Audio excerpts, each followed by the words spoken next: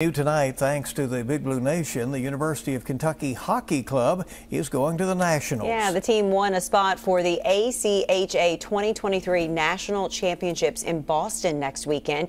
It's the Cats' first trip since the 2007-2008 season. The team is self-funded and it needs to raise $80,000 for travel, hotels, and meals. They have set up a GoFundMe in hopes of reaching their goal.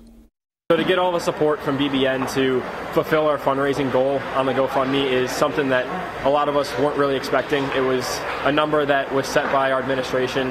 Um, and for BBN to come through and provide us with those funds to fulfill this accomplishment is something really special to all of us.